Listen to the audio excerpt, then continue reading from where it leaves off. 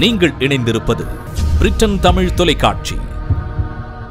சென்னையில் பெரும்பாலான பகுதிகளில் மின்வெட்டு நுங்கம்பாக்கம் மயிலாப்பூர் புரசைவாக்கம் பெரம்பூர் டி நகர் ராயப்பேட்டை திருவல்லிக்கேணி வில்லிவாக்கம் மற்றும் அண்ணாநகர் பகுதிகளில் கடந்த ஒரு மணி நேரமாக மின்தடையால் வெடகை மற்றும் கொசுக்கடியால் பொதுமக்கள் கடுமையாக அவதிப்பட்டு வருகின்றனர். மேலும் இது போன்ற செய்திகளுக்கு இணைந்திருங்கள் பிரிட்டன் தமிழ் தொலைக்காட்சி.